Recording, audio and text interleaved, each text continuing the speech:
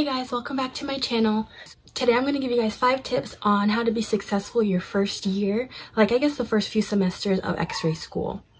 So before I give you guys the five tips, I just wanted to talk about my interview process and like my school. My school is a non-profit school and it's not gonna, I mean, all schools are different. So what they did at my school, they're probably not going to do at your school and vice versa. So how my interview process went is um, you meet with the campus director, they show you around the school, they um, also talk to you about the financial outlook of the job, they show you, um, like they talk to you about financial aid and all that kind of stuff. You have to take a test. There's a math test and I think there was an English test. So once you pass those tests, then you get to talk to the program director and that's where your interview happens. And that was at my school just so you guys know. Then you talk to the program director and it's just like a job interview. Um, you have to put your best foot forward and then if you do get accepted you have orientation. And we had an orientation for i think a whole week or two days something like that. And that's where they gave us all of our books. They gave us three pairs of scrubs to reuse and you know purchase more if we needed to. And yeah and that's exactly how it happened. That's how it first started off in the beginning Tip number one is to make these things called study statements statements. Um, our program director, she told us to make study statements and she explained it like this. So whenever you um, take a test and you get the question wrong, write it down, write down the question and write down the answer and also write down why it's correct. And what, like, write down little tips to help you remember um, to understand it. I definitely recommend getting a binder and filling them full of study statements from the beginning of the semester to the end of the program. Then when it's time for you to like get prepared for your exam, you can just look through all the pages and see if you really truly understand those things that you wrote down. Because you might forget by the end of the two years. Tip number two, make sure you read your textbooks read your textbooks and watch YouTube videos for the things that you're not that you don't understand. Because there's gonna be a lot of crazy stuff that you never think of. Like um one of the things that was harder the hardest for me was learning about x-ray interactions with matter and the way x-ray is made. Because i don't know why in my mind i was getting them all mixed up. And then when I started watching YouTube videos on it, I was like, okay, now I understand. Like, of course, I mean, I did try to read the, the textbooks, but I just felt like listening and watching someone do it, like the diagrams and stuff, that really did help me out a lot. So make sure you read your textbooks and look over your um, PowerPoints or whatever the teacher gives you and look at YouTube videos. That is so crucial because it helps so much. I love YouTube. I love YouTube because of that. Number three, make sure you study and have a study group with you.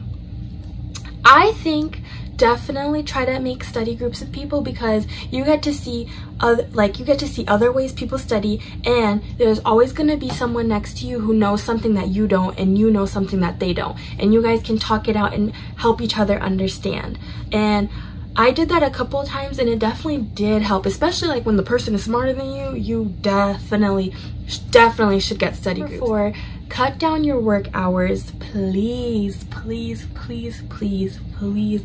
I know some of you are like adults and you have kids or you have bills to pay and all that kind of stuff. I know, I know, because I did it too, but you definitely like I just don't recommend working full-time. I don't recommend it. You can do it. You can do it. You're going to be exhausted by the end of the program working 40 hours a week and going to school. You will be exhausted.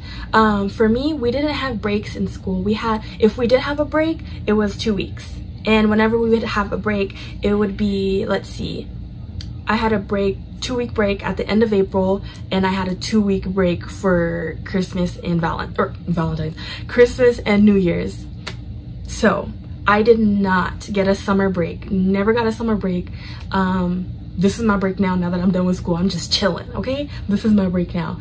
But like I said just please please please don't work. I don't know how other schools work. Maybe you guys will get a break and stuff because i know our not competitor school but the school the community college over here their students got like 10 week breaks so it's not gonna be like that everywhere you go.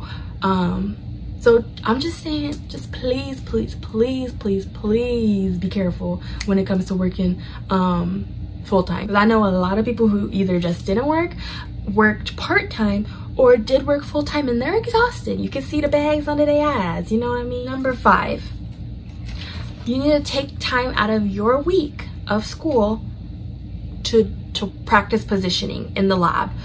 I don't know how your schools are gonna be, but um, in my program, the lab was open to us after, you know, like after school, after class hours or whatever. The lab was open to us and we would do groups. Um, we would make groups and we would all go practicing together or like a couple people would practice together during lunchtime, just something like that. Practice your positioning, okay? This is an extra tip. You wanna make flashcards for every position that you learn every single position that you learn, make sure you make flashcards for it because then you'll have a stack by the time you're done with x-ray school and you're ready to take your um, registry, you want to be studying all those flashcards. You're going to have to work one day and you want to know positioning because what's going to happen when you get a job and you didn't know positioning because you didn't really have positioning on your registry exam. So um, that's just, those are just my tips. Technically that was six or seven, I don't know but i'm gonna just say five okay? Um, those are the tips that i have and i hope you guys really use them. And congratulations to all of you who you know have gotten into the program or who are thinking about getting into the program. Um, you guys can definitely do it i believe in you. Um, just keep these tips in mind. Bye